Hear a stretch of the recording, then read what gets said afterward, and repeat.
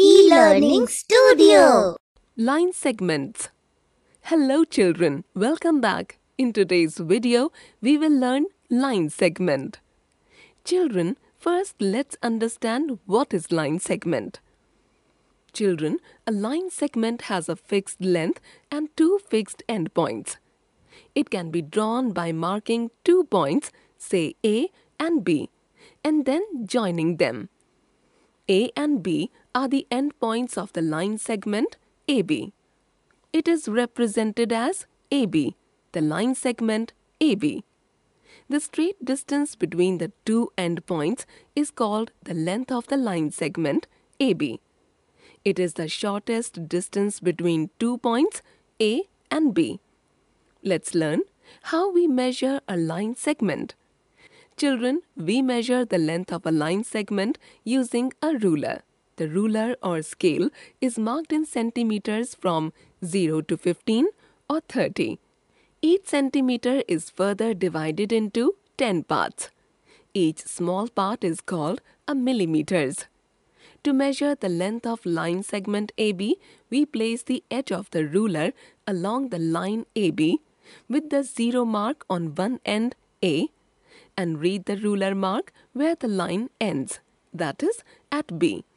If the line ends at the 8 mark on the ruler, then the length of the line AB is 8 centimeter. Let's take another example to measure a length of a line segment XY. First, we place the edge of the ruler along the line XY with the zero mark on one end X and read the ruler mark where the line ends that is at y. If the line ends at the 5 mark on the ruler, then the length of the line xy is 5 centimeter. Hope this is clear to all. Next is how to draw a line segment.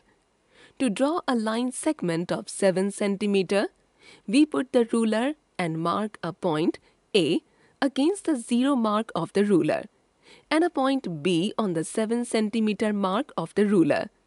We then draw a line with a sharp pencil along the edge of the ruler to join these two points. We thus obtain the line segment AB and its length is 7 cm. Let's draw another line segment 9 cm.